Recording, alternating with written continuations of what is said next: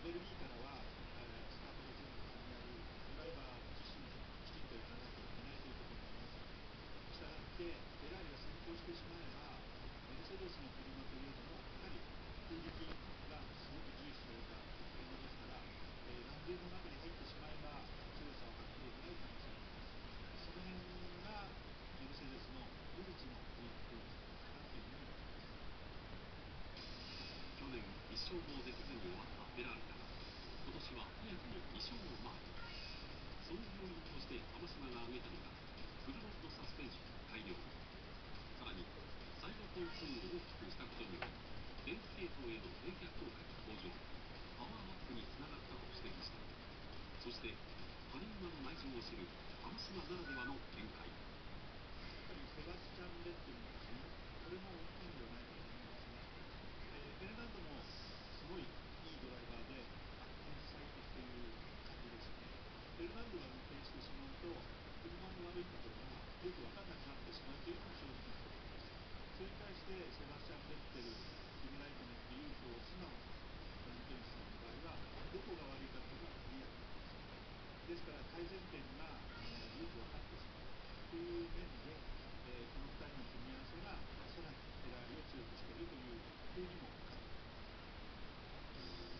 古巣フェラーリの躍進を喜ぶ浜島だがやはり一番気になるのはマクラーレン・ホンダ一時帰国した荒井康久 F1 プロジェクト総責任者を訪ねた。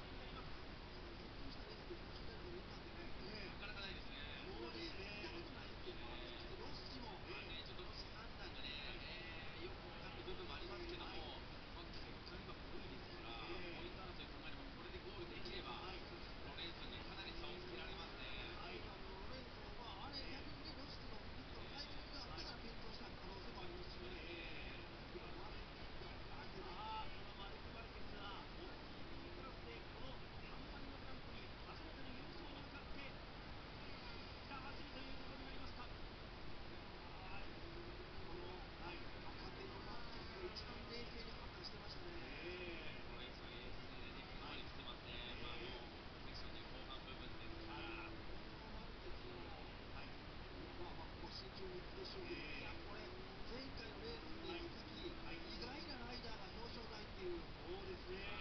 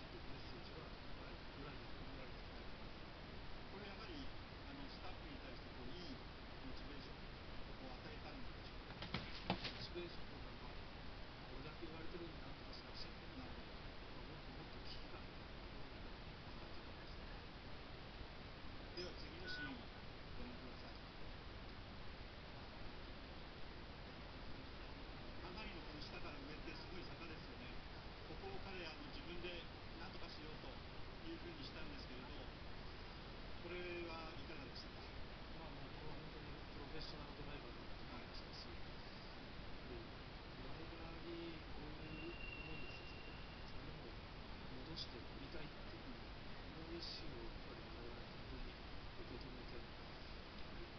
あの本当に厳しいシーンでした。あのベランド、フェラーリと車乗動したことないんで、本当にあの